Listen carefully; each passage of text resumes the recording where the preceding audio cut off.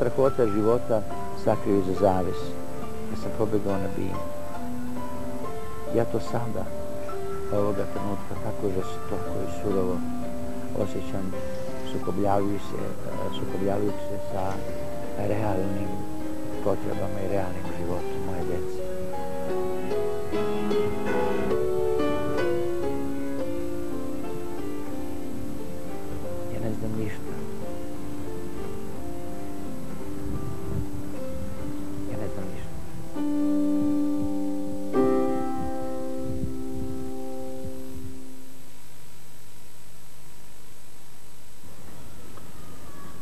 ne znam zašto ali možda i znam zapravo, kad smo se dogovarali o tome gde da nađemo ambijent za ovaj naš razgovor,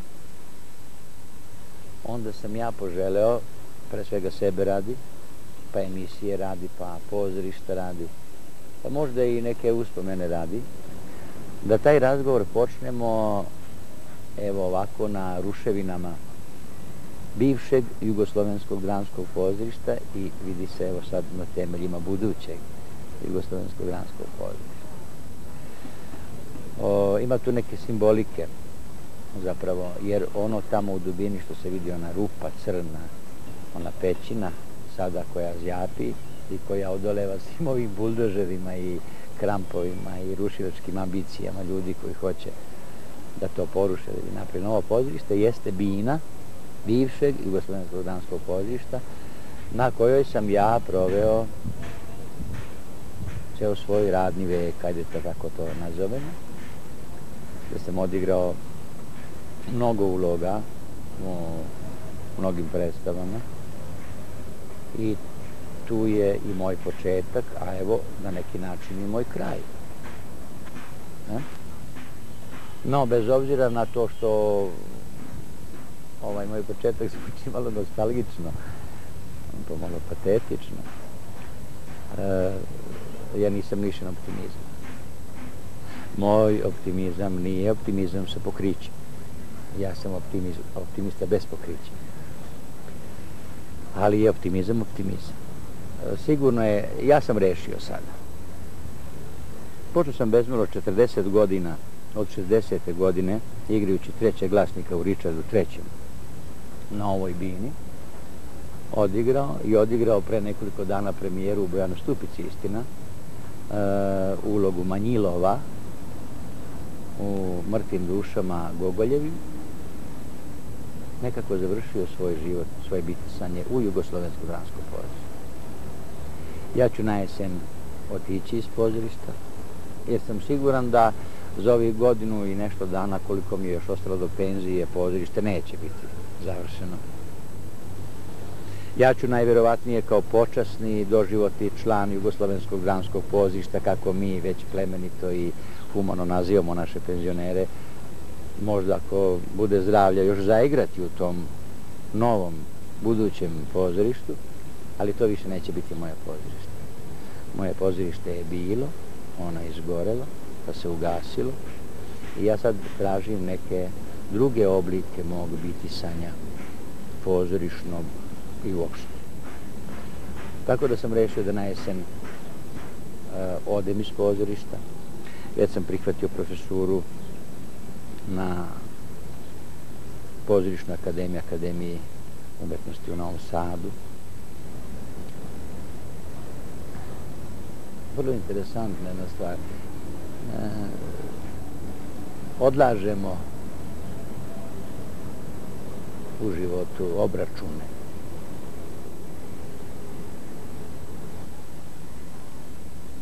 I sad kad sam snimao ove kadrove za početak ove naše priče, o meni, o pozorištu, o pozorištu, o meni s potpuno je sve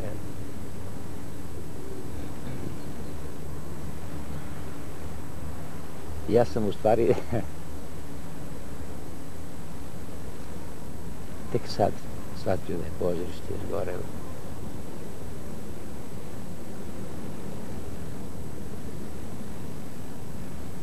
E, to sam nekako odlagao kao saznanje. Sad je to tako evidentno. E, svi smo mi bolećivi prema sebi.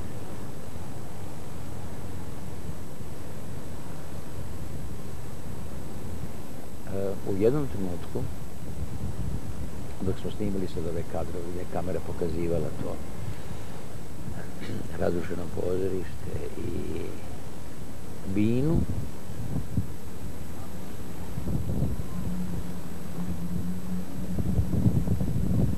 ja sam čuo aplauz.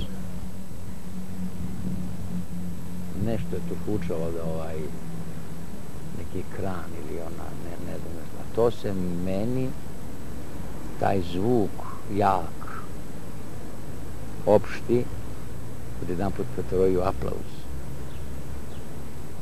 Ja sam od jedan put sebe doživeo kao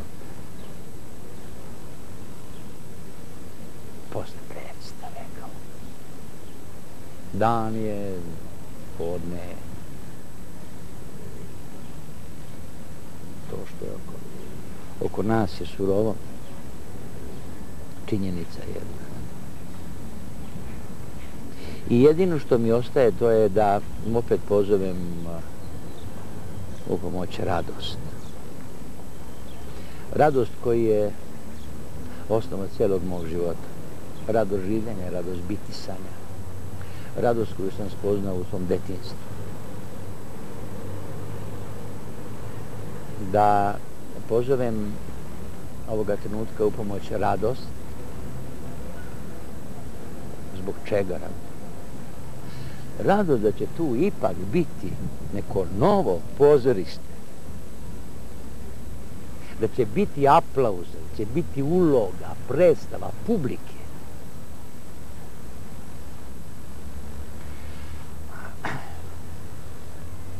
čovjek se ne rodi kad zakmeči, kad iskoči iz majčinog. Čovjek se rodi valjda onoga trenutka kada mu Bog luča sve to spodari neko saznanje o sebi i o njegovom prisustvu u ovome svetu. Ja sam osvanuo u svom životu strašno bolno bio sam mali dečak u jednom selu u planinama Crnogorskim. Bio je rat i ja sam ostao sam. Nisam imao tatu, nisam imao mamu, nisam imao brata, nisam imao sestru. Sve što sam imao, i dedu, i babu, i u jaka, i tetke, sve to izginulo u tom ratu da kažem, taj, taj trenutak kad sam se ja rodio, zapravo kada sam postao svestan sebe, je bio strašno bolan i neprijatan. E, bio sam sam, potpuno sam i u nekim ranama, u, zapravo u nekim groznicama. Jer pre toga sam bio zatrpan u magazi kuća Đenisijevića u Pljevljima, kad su saveznici bombardovali Pljevlja, dva dana i dve noći u nekom podrumu, u magazi zapravo te kuće, pa smo se onda nekako jedve izvukli, pa sam ja onda imao neke temperature, pa neke groznice koje su mi izbijale iz nosa, iz očiju, iz usta, a svuda su mi bile groznice. Mislim, to je prosto nevjerovatno u nekoj temperaturi povišenoj, sa užasnim osjećajem straha. I tada sam shvatio, zapamtio za ceo život da je žeđ mnogo strašnija od gladi. Glad može da se preživi, žeđ ne može. Žeđ je strava. I e, uh, uvek sam se kasnije od dan danas u životu e, jedino zgražao na mučenja gdje se žrtvama nasilno stavlja so u usta da bi osjetili taj stravični e, osjećaj žeđe. E, I ta usamljenost, taj strah, e, to sve je bilo... E, ja sam počeo da bežim, došla je moja strina iz jednog malog crnogorskog mjesta koje se tada zvalo Šahović i sada se zove Tomaš. E, sa dve prijateljice i sa dva konja, to je 60 km od Pljevalja udaljeno, e, gdje sam ja do tada bio sa svojom majkom i svojom sestrom i e, oni su nestali na način kako su nestali, ja sam ostao kod neki tamo ljudi, pa je onda ta moja strina čula za mene, pa je došla i ja sam sad došao 44. je to godina u to selo Šahovići, koje je iz bajke, to je jedna prelepa Vraneška dolina, kroz koju protiče reka Ljuboviđe, u koju se uliva bezbroj divnih planinskih potoka, gde su livade, šume, gde, gde ima voća i trešanja, jabuka i krušaka. Gde ima ovaca i pčela, gde ima dobrih ljudi. I nekako sam ja tu osvanuo sa tim strahovima i sa tom osamom i onda sam potražio mogućnost u prirodi. I priroda je zapravo bila, moj kontakt sa prirodom eh, je bio na domjestak svega onoga što ja nisam imao. Onda me je od nekih eh, od nekih grmljavina, od nekih kiša, od nekog sunca, od nekog vetra, od, od eh, tih nekih pezaža, od šuma kojima sam išao, od riba koje sam gledao ono, u, u, u Ljuboviđi, od pčela, od ptica koje su pevale.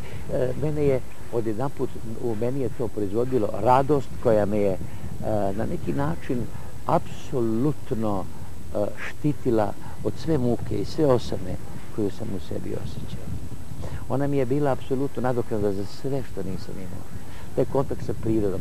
A tu je i muzika, priroda je, priroda je puno muzike. E, sećam se da sam još tada kao mali dečak imao e, običaj da se zavučem duboko u šumu neki gustiš, i da se pritajim, da postanem drvo, da postanem list ili kamere ili tako nešto.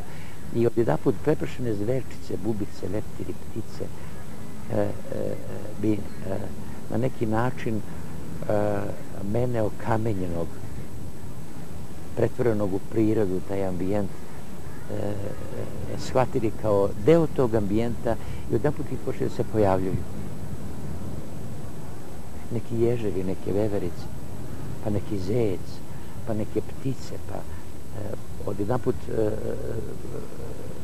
kad preskačeš potok ti mu ne čuješ žubor, ali kad postaneš e, deo tog potoka ti mu čuješ muziku. Od jedan put je sad to su takve radosti za mene bile do onesvešćenja Ja to zovem idiotski period moga života. To je bilo, e, to su bila stanja koja su bila euforična, ta moja radost, ja više nisam znao kako da podnesem tu radost. I onda sam se igrao sa svim tim stvarima, sa prirodom, sa mojim drugarima, sa čobanima, sa raznih igara, i klisa, i barjaka, i pomalo možda lopte, Eh, e, napravljene penjače, ili ribolova, ili nekih čuda, ili neke klize, ili neke, ne znam, raznoraznih igara, e, ta radost igranja, ta radost poistovećenja sa prirodom je zapravo ta igra koju sam ja sebi u neki način e, našao kao izlaz iz svega onoga što je bilo ružno, bila činjenica moga života, su meni davali mogućnost da živim. I zapravo ja nikada nisam napustio tu igru. Jer igra mi je obezbeđivala radost, a radost mi je obezbeđivala zaborav. I sve što sam radio kasnije, dok sam studirao književnost, pokušao da pišem pesme, pa odustajao, pa e, onda došao na pozorišnu akademiju, pa postao glumac.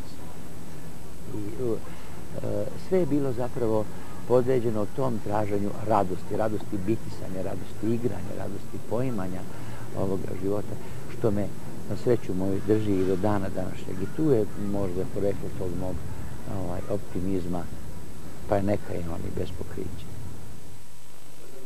A sad, nešto, momci, momci, nešto za moju dušu. Pesmu moje mame. Vidiš, majko, ono brdo gore, vidiš, majko, ono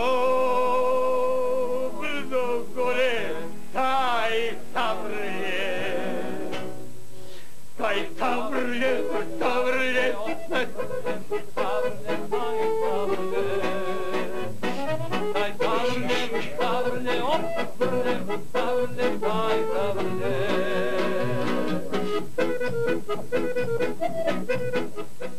Ponekad se zapitam, e, nije li možda, nije li, nije li možda život prohujao kroz mene?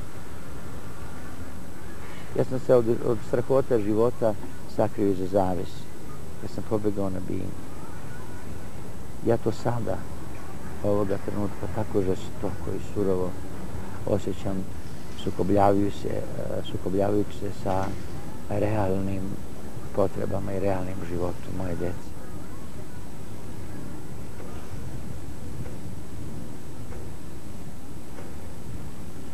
Ja ne znam ništa. Ja ne znam ništa.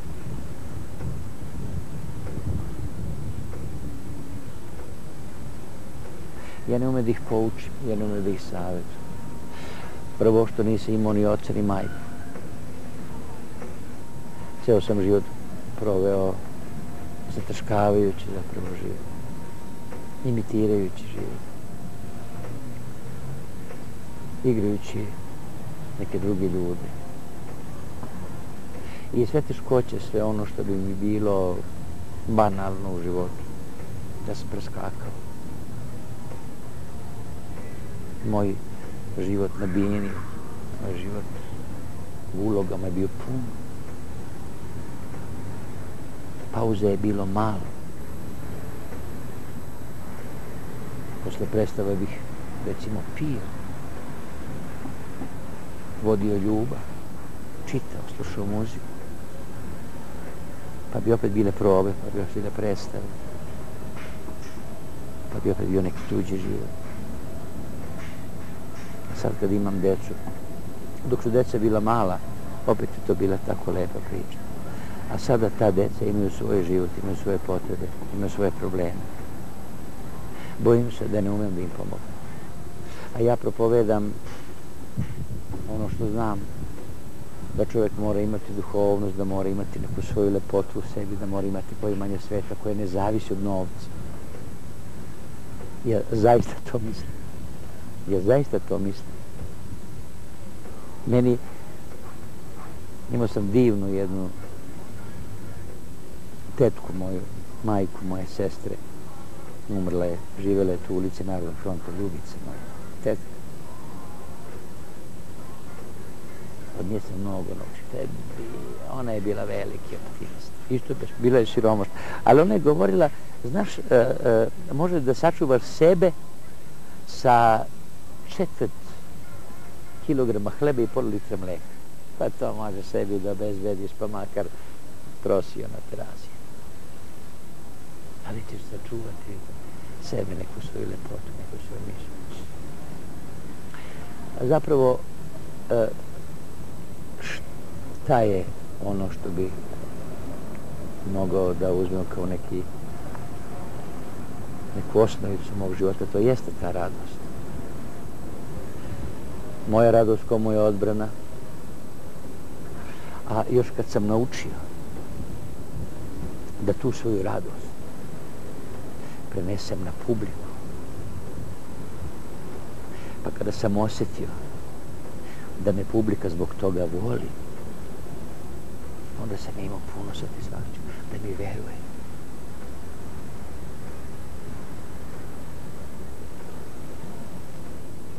Jer nešto što je u ovom našem poslu na prvi pogled e, teško. Užasno teško. To su mukotrpne, mukotrpne probe, ponavljanja, ponavljanja, probe kostima, probe svetla, probe ovoga, probe onoga. Učenje teksta, dobro, to je najmanji problem. Ti mi kao, ja, kako ti naučiš tolike tekste? Tekst je nešto, to je, to je pitanje e, analize, analitike. Tekst e, se savlađuje. Prvo, prvo pokušaš da uđeš u suštinu e, tog lika, u njegove emocije, u njegove karakterne osobine, pa onda to više nisi ti, pa onda e, taj dati lik u datim određenim okolnostima, pa što to onda, onda, onda te replike, taj tekst uh, su nešto što je apsolutno prirodno, ne može biti ništa drugo nego to što je iz tog stanja. Zato ja uvek govorim, ja, evo, tako mi je Bog pomogao, evo sad kad bi me pitali o tih e, na stotine i stotine uloga koje sam ja u životu. Ja jednu jedinu sada rečenicu čini mi se ili monolog, sve ovih nekoliko monologa koje sam negovao, jel? E, nastupajući nekim drugim prilikama, ne bih znao da kažem.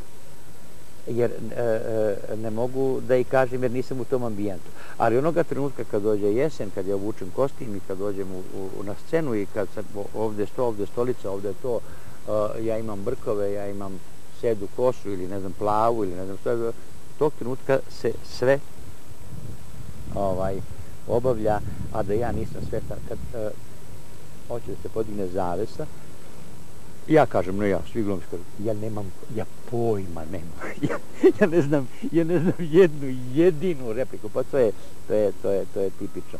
Kao što su tipični glumački snovi, oni strašni snovi koje mi, ovaj, sanjamo kako igramo predstavu, ne znamo ni ko je pisac, ni koju ulogu igramo, a tu je publika i neko te gurne i ti... Ja uglavnom sanjam... Da, da, da. Da, Ja, ja, ja, a ja uvek najstra, ja sam, ja sam sadist ili sadomazohista, nije. Uh, ja uvek sanjam uh, pozorište u krugu. Nema, nema čak ni sufera nema ničega. To je pozorište u krugu, to je, to je cilj. I uvek me neko gurne da igram neku ulogu, ne znam koju, ne znam zašto, ne znam, a publika je tu. Ja imam tu urođenu odgovornost da moram nešto, inače će biti strah, bit će smak sve.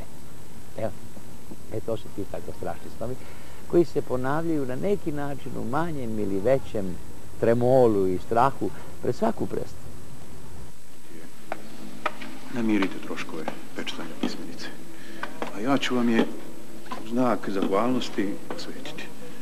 Ipak je sam Bog ovamo poslao.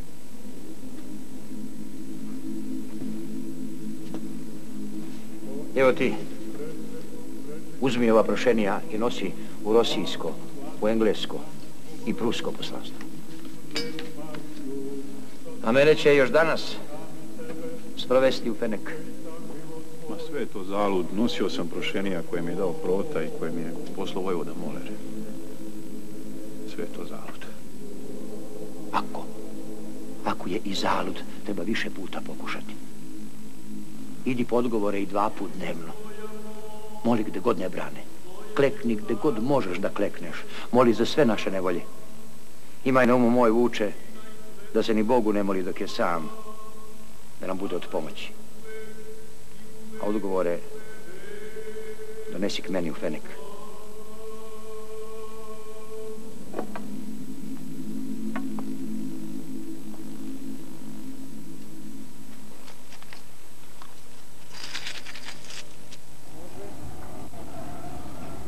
Ne znam zašto, čini mi se da ste mi e, zgodan sagovornik za temu o kojoj najčešće razmišljam kad je o pozorištu reč u stvari mi nikada čini mi se neće ni biti jasno kako to funkcioniše, glumci, gledoci, scena. Uvek mi je to nekako tako magično, tako čudno. Znam da vam možda zvuči sad ko, neki, ko neko deti, neko detinje razmišljenja, ali zaista kako, kako vi kao glumac razmišljate o tome? Ili vi doživljavate tu magičnost teatra kao što to gledalac najčešće doživljava, onaj koji želi da razmišlja o glumi, o teatru? pozorište zapravo jeste taj spoj, ta konvencija, ta dražesna konvencija, taj uh, božanski dogovor između publike i glumaca. da je to što mi na Bini priređujemo uh, sa učešćem publike u tome, sa tom magijom, jeste nešto što ima svoj značaj, svoju lepotu, svoju zbudljivost. znači da e, glumci bez publike i publika bez glumaca ne znači ništa, to nije pozorište. Međutim, sigurno je da e, počinjemo celu priču, celu stvar. Počinjemo sa ulaskom na, mi glumci na mala vrata, a publika na velika vrata. E, publika u foaje, po gledalište, a mi i u garderobe, pa iz garderoba na binu. E, e, taj sam početak, taj pristup je verovatno drugi. Ne verovatno, nego se. E sada, e, ta konvencija, taj dogovor se zapravo događa onoga trenutka kada smo skupa, kada se podigne zavez. Sve ono što je pre toga jeste strah, trema, e, sa glumačke strane, uzbuđenje, očekivanje nečeg izuzetnog e, sa strane publike i onda je potrebno da prođe taj jedan trenutak, e, taj početak dogovora, to da se ustoličimo i da počnemo zajedno da mislimo, zajedno da osjećamo. Jer zapravo čini mi se da to jeste magija, to jeste e, najlepše u pozivištu, što ne postoji nikad, nikakva situacija u životu, bilo čime da se ljudi bave, bilo gdje da su i kako da su i s kim da su, da je toliko mnoštvo ljudi u jednom trenutku potpuno poistovećeni, da misle istu misao, imaju ista osjećanja.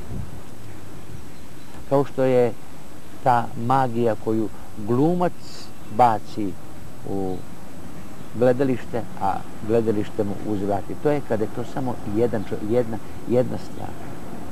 I zapravo ta magija jeste ono što, a zašto glumci nikad ne požele vlast, ne požele neko veliko bogatstvo u novcu, na primjer, što uglavnom ne.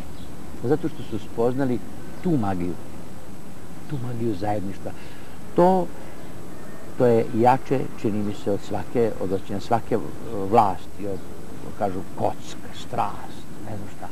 Ali to osjećanje da si deo proizvoda, si proizveo zapravo veštinom svojom darom svojim to da tog trenutka smo mi jedno da isto mislimo, isto osjećamo da sad preskačemo te pragove raznih događaja, slika, priča, emocija zajedno i da vodimo tu priču zajedno, zajedno, zajedno, zajedno, zajedno, zajedno. To, to je, to je kao ljubav. Šta je ljubav ako ne to? Šta je vrhunac ljubavi kada se dva bića spoje u jedno? kad imaju to osjećanje da su jedno u ljubavi, u strasti, ne znam čemu, ali to postoji, postoji to i u pozorištu. Redko. Nije to uvek tako. Uvek ima neko ko, ko štrči, ko nije u igri, ili u, u, u, u, u publici ili na bini. Neko ne obavlja svoj zadatak kako treba, neko nije pristao na tu konvenciju, neko je, neko je izdao. Mm -hmm. Neko je izdao. Međutim, postoje trenuci i tada je tada je zaista pozorište vrhunska umetnost. Sve vam toga nije. Ali tada kada se to desi, kada se desi to čudo, ta magija, pozorište jeste tada vrhunska umetnost. I sve to što glumac traži, čita u želju za čim traga, to jeste ako ima sreću da osjeti u par uloga, u par trenutaka, u par scena, u celom svom životu, tu magiju, tu moć, on čitavog života e, u stanju da proda ceo svoj život, da osjeti tu magiju, kao što publika celog života, ona prava publika dolazi u pozište, jer je imala par puta to osjećanje, to osjećanje ljubavi. Ja ne znam kako to uči da. To spoznaje, ajde, recimo da je spoznaje nešto što je možda starije od ljubavi. Slabe su naše metode za njega.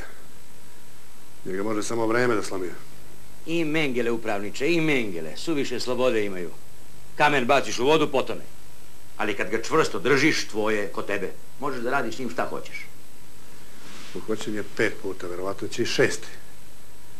A sada me zanima samo način šta će da uradi sljedeći put. Bistar je ume da misli i da nisam upravnik za ovo danas bio. Stegao ruku. Ma da se sa njim od početka drugčije krenulo, ne bi dovde ni došlo. Da je iskusio tvoje metode, jel? Ima trenutaka kad i vi kažete da samo ja mogu neke stvari da sredim. Ali mi je uvijek žao kad to moram da priznam. Ali priznajete. Vi ste rekli malo pre da kad smo snimali ove kadrove na ruševinama pozorišta, da ste čak čuli aplauz. Ja sam čak sklona da verujem da prostor ima, gledano metafizički, možda neku svoju mogućnost pamćenja. Šta vi mislite, da li ovaj prostor koji sad izgleda ovako, to su sada ruševine, jednog dana tu će biti nova scena, novo pozorište. Da li taj prostor, da li će ostati pamćenje? Ja verujem u to. To postoje, postoje neke stvari koje su neminovne, gdje se ljudi okupljaju. To je pozorište, to je groblje, kasarna, bolnica, železnička stanica. Uvek sam mislio, ako hoćeš da upoznaš e, neki narod, narod, sistem, način življenja, način mišljenja, nešto što je specifično, recimo, nazovimo taj narod Portugalcima, Špancima, Srbima, Englezima, nije bitno. Da, ako imaš malo vremena, onda treba da odeš u pozorište, da odeš u bolnicu, da odeš u kasarnu i da odeš na železničku stanicu.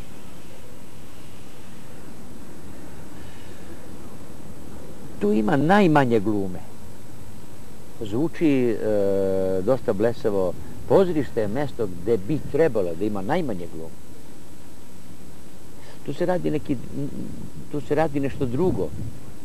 Tu, tu, tu se traga za istinom, za lepotom, za, za nečim što apsolutno ne, tu nema mesta glumi.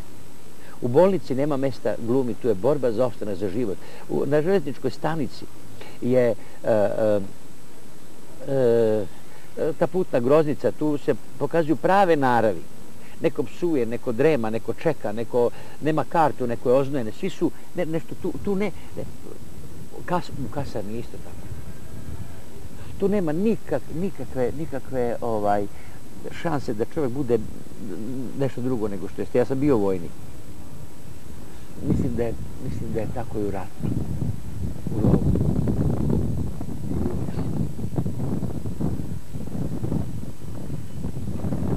O, prosto postoje tako E, sad, ti, svi ti ambijent u, u koje je uložena utkana jedna strašna, iskrena, prava e, emocija ne može to da nestane. Ima tu neku, ima tu, ima tu neku, neku, neku magiju, ima, ostane to. Ja mislim da sve ovo što, što, što mi radimo, što govorimo, recimo sve te emisije koje ta bežična telefonija, telegrafija, ta televizija, tako, svi ti talas, je tako? Mm -hmm. Koje mi možemo da uhvatimo uz pomoć nekih aparata, je tako? Jel? Da sve to kruži vas i on. Jer skoro da sam ubeđen u to da će jednog dana ljudi smisliti neke fantastične osjetljive sprave aparate kao što je kamera, kao što ne znam kako će se to zvati, to je, ja nisam tehnički obrazovan čovjek, ne znam kako imam uček, da, da ćemo moći da, da, da čak kupimo te zvuke, tu muziku, te scene, da, da ćemo moći da reprodukujemo život, toliko je on ostao. Ne mogu, to ne može da bude uništeno. Duh ne, ne, nije neuništiv. Mi, mi, mi menjamo forme, jel? Ali ja, ja, ja strašno verujem, verujem, ja, ja verujem u to. E, možda je i ona bila, ta moja, ta moja vera, e, u, od presnog, e, recimo, znači, ja malo pre, ja sam vam rekao, ja sam, ja sam prvi put sada e, shvatio da je pozorište, da ga nema. I od jedan put u tom nekom kadru kad smo mi tako pokazivali te ruševine i to onda je neki bager nešto radio, bio neki zvuk koji je e, mene asocirao koji je bio neverovatno sličan aplauzu. I to nekom gromoglasnom, nekom onom, onom, onom aplauzu koji, koji se podmeće u nekim emisijama, šta znam, ne, ne, kao se podmeće smeh, ne, nešto što je, e, od jedan put je to tako zaslužilo. I to me je od jedan put sam nešto postavio sebi neko patetično, blesavo pitanje ja, pa da li ću ja nekada e, još čuti ovde u tom ambijentu taj aplauz i da li će me on moći da vrati u ono vreme mojih aplauza koji su bili tu jer aplauz aplauz je nešto što trezni, nešto što što prelazi granice mogućeg. Aplauz je strah. I e, publika e, prihvata glumu i pozvišni čin kao život, kao događaj, ona ga prihvata, prihvata, o, ona uživo, njemu to je istina, to se jedan put pretvara u život, to se jedan put pretvara u istinu, to je od jedan put, i od jedan put E, e, iz straha da će negdje otići u neke druge prostore, da će izgubiti svoj identitet. E, iz tog straha, te paničan strah, publika počne da aplaudira.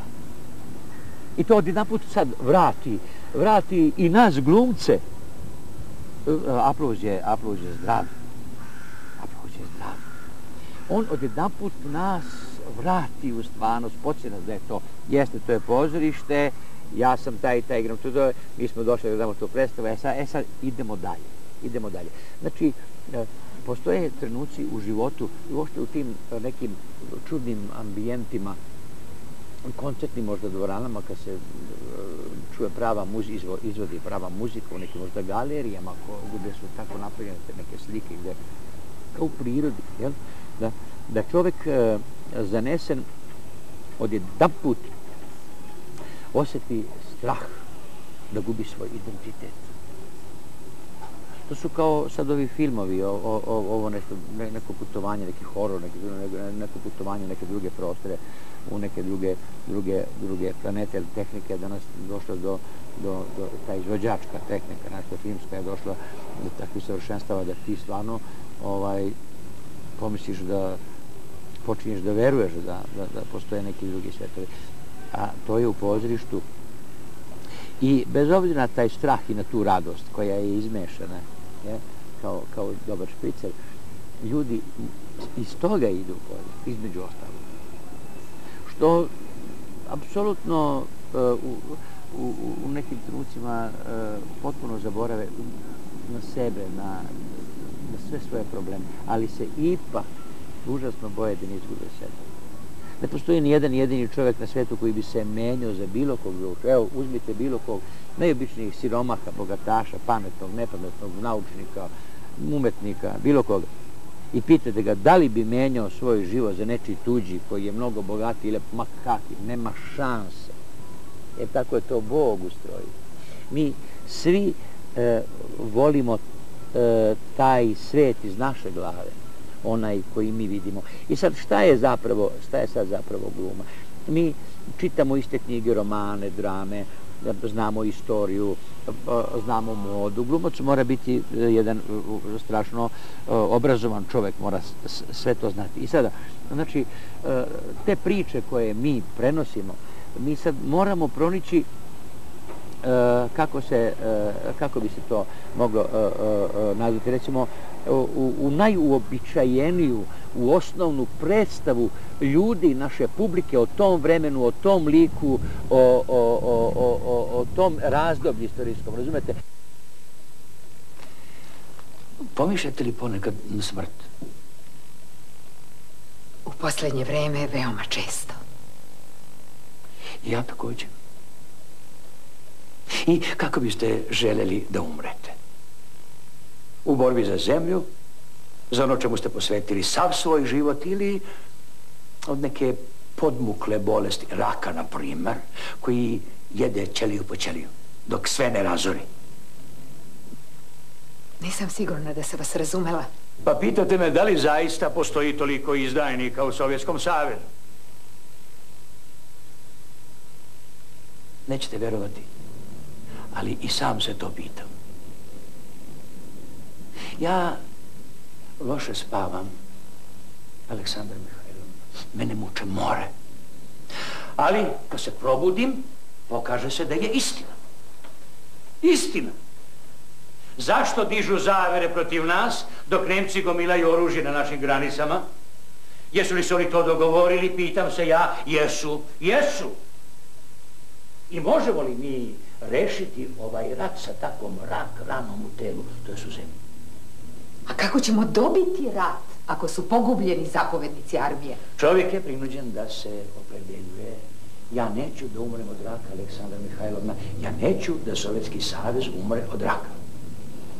Stvar umetnosti je poznavanje života, poznavanje istorije, poznavanje vremena, poznavanje svega toga da mi otprilike u pozorišnoj predstavi, u tom događanju koje mi prezentiramo kao istinu, jeli, da mi e, smislimo i prikažemo to da se to poklopi sa vašim sa viđenjima, sa viđenjima publike. I onda je to, onda je to fantastično. I onda se dešavaju dešava se ta umetnost. Veri, ta umetnost, pozorišna umetnost. I dešavaju se ti zaneseni trenuci kad smo u našem zajedništvu toliko isto sve isto mislimo, isto ćemo da se onda iz tog svog sebičluka koje nam je Bog podario, da je moj život najvredniji, moja misija najvredna, mi se u strahu od svog, od gubitka svoje ličnosti, identiteta, branimo aplauz. A taj aplauz je, zašto je aplauz najveća nagrada za glumca? Zato što tačno, jedino, jedino tada pročitamo strah. Mislim, e, jedino, ako mi ne ubedimo publiku, ako je ne izvučemo iz sebe, ako ona ne zaboravi na sebe, ako mi nismo dovoljno vešli, dovoljno, dovoljno to e, istiniti, dovoljno, onda je ona ravnodušna, ona gleda nas i sve vreme je e, kao posle aplauza, je tako? Nije omađijana, nije opijena, a mi znamo tačno kad je aplauz da smo uspeli da je što kaže Milivoje Živanović slušaj sire kad ih prikucam za sedišta, pa kad ih gledam u oči. E, zato je aplauz. Nije aplauz neka nag, ne, nešto što je nego, nego, nego aplauz se uvek dešava. Dešava onda kad je stvar osvojena do kraja. Kad je naše zajedništvo publike domaća za dostiglo svoj vrhunac kada se mi i jedni i drugi majčice ovaj, uplašimo a što sad? Malo je opasna stvar ovaj, za svoj osjećanje identitet. I opet je radost u pitanju. E, to je ta radost. Radost, radost. Radost igre, radost bitisanja, radost. radost. ne znam, ovaj, mislim da da glumac ima eh, jednu veliku privilegiju. Da strah, mržnju, ljubomor, nesreću, osjeća intim, istim intenzitetom kao sreću, ljubav, lepotu. Jer naučiš da naučiš da, da recimo uh, igraš nekog nitkova, s, s, ubicu, davitelja, uh, mislim, straž u literaturi dramskoj, ošte u literaturi, uošte, uh, eh, ima mnogo zlih, uh, gadnih, pokvarenih ljudi. I sad ti pričaš tu priču i ti sad ulaziš u to čovjek, ulaziš, ulaziš, ulaziš, ulaziš, ulaziš i bra, braniš ga. Ne, nećeš, ti, ti to, mor, mor, to moraš da budeš ti. Jedna put tražiš razloge. Zašto? Zašto mrzim, zašto ubijam, zašto sam, zašto sam zavidan, zašto čovjeku to pravim to. I odjedan put ti shvatiš da to tako prirodno. Shvatiš? Shvatiš. Na sceni? I, dok, dok, dok radiš? Dok to radiš, dok to živiš taj lik. I to ništa nije nakradno. Odjedan put ti uhvatiš se i kaže da to ima svoju lepotu. Lepotu u čemu? Istinu. I tu postoji aplauz. I takom ulogom ti uplašiš da te mere zaneseš ovaj, publiku, da opet mora da aplaudira. Izvolite, gospođo Golubović, sedite. Hvala. Pa, kolegrice, da vidimo. Kako mogu da vam pomognem? U čemu? Pa reklo bi se da imate izvestnih problema. Ne znam na koje mislite. Mislim na lične, porodične ili, ne daj Bože, zdravstvene. Zdravstvenih za sada nema. A onih drugih? Na kilo. Primećuje se. Ja se zaista izvinjavam. Nema potrebe. Ja nisam ličan. To što ste vi mene nazvali Sivonjom, ja sam već zaboravio. Užasno mi je neprijatno. Kad neko hoće da zavodi red, onda mu sleduju i određeni epiteti. Vidite, u prethodnoj ustanovi koju sam sredio kao japansku železnicu, tepali su mi Frenki. Da znate da malo i ličite. Na koga? Na Franka Sinatru. Oni su mislili na Frankensteina. Tako da moje sivonja dođe kao sveženje. Zaista ne znam šta da kažem. Ništa. Rekao sam vam već. Sve lično eliminišem i preko takvih stvari prelazim. A onoga trenutka kad, kada ste sami i kad ste suočeni sa tim svojim unutrašnjim prostorima, šta je tu? Je li tu dobar čovek? Ja jedino u to verujem. Jedino, mislim, verujem, verujem da jedino, da jedino dobar čovjek može da se raduje. A ja bez radosti, bez, bez tog osjećanja radosti ne bi mogao da živim. A tu radost mi, e, čini mi se, jedino o, obezbeđuje dobrota. Dobrota koja u sebi podrazumeva e, toleranciju, e, strpljenje, e, e, e,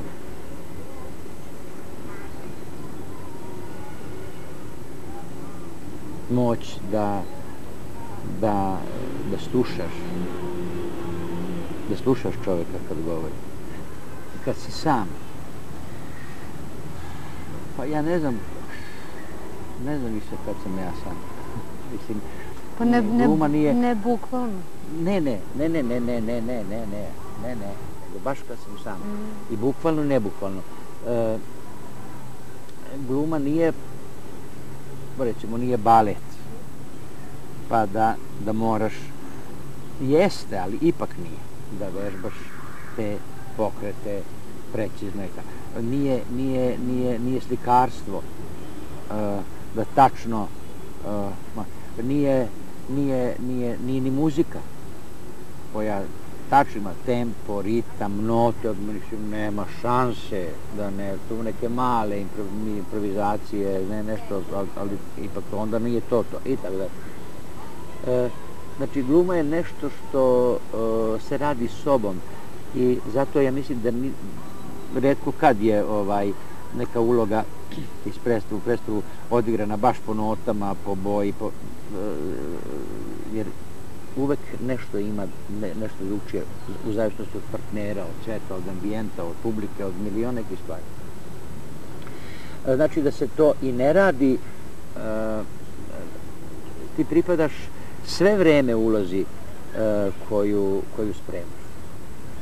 Pa, znaš koliko mi se puta desilo, stanovo sam godinama gore na Zvezdari, pa ponekad mi ne upali auto ili nemam benzina ili šta znam, pa se vozim e, trolejbusom ili tramvajem i tako dalje i tako dalje, pa odjedan put osetim kako viseći na ovoj, visim na onoj, onom držaču, jel, o, o, ovaj gledam kroz prozor, pa odjedan put ostavim neku čudnu tišinu, vidim da svi gledaju u mene. A ja verovatno, verovatno idući na probu ili na predstavu, verovatno to ja nešto, ovaj, jer jesam ulaz, ja sam se sve vreme zapravo ulaz. e, verovatno pravim neke grimase ili možda čak puštam neke glasove. Možda go, izgovorim neke reči i onda ljudi misle, o, o, o, o, o, o, znaš, no, e, neko te i prepozna pa te gleda kao glumca, pa onda kaže vidi što ovaj izvodi ili neko kaže vidi on je lud i tako da. E, ima još nešto, recimo, bez obzira e, koliko imaš obaveza u toku dana. Kod glumce, ja kad se god probudim toga dana, ja znam da taj dan pripada mom Raskolnikovu, mom Igovu, mom Jerotiju, Jevremu, mom Manjilovu, ili Milošu, ili Nikoli, ili... E, e, i, i sve što se dešava toga dana, sve što se dešava toga dana, ja, ja uvek e, e sam govorio svim prijateljima, nemoj da me zoveš ni na ručak, ni na večeru, ni na neku zabavu, na nešto kad imam predstavu. Zato što, ne zato što ne mogu da pijem i ne mogu da, da, da jedem ili da žderem na kraju kraju i da uživam u tome, nego što ne pripadam onako tom društvu posvene. Stalno mi se provlači, šta god da radio, stalno mi se provlači to što ću doveče da igram. Ta provera, taj, taj, taj, taj neka priprema, taj neki strah da, da, da, da neće biti kako tako tako. Jer isto tako prepodne probe. Znači da tih trenutaka kada si potpuno sasvim sam.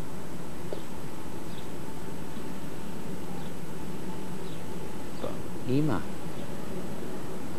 Ima. Ima ali onda e,